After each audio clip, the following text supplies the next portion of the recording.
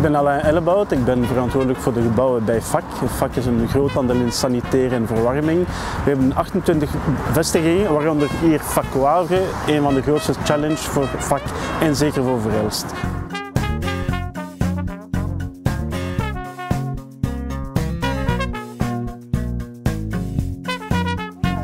De samenwerking met Verhelst is begonnen in 2007 en Fakwavre is het tiende project. We hebben gekozen voor Verhelst, voor het professionalisme en de beschikbaarheid van al de mensen die bij dat project betrokken waren. Dus was Verhelst de ideale partner om dit project te realiseren.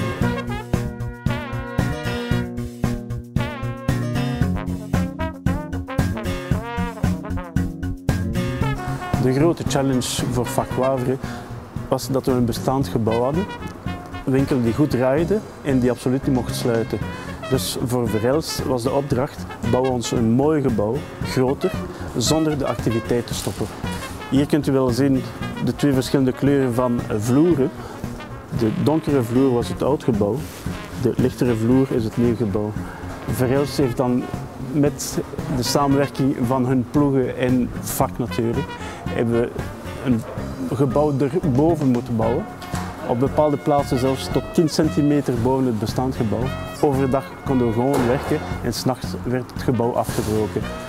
Alles is gebeurd volgens planning, volgens timing en, en budget. Dus een echt fantastische samenwerking met Verhelst.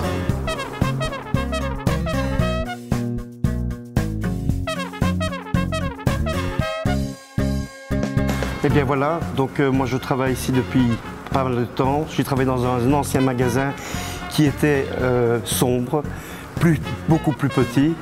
Et nous avons collaboré avec Verels, qui est une très bonne société pour moi, car euh, nous avons très bien collaboré et grâce à, ce beau travail qu'ils ont effectué ici, on a vraiment un beau résultat, magasin plus clair, très accueillant pour le client.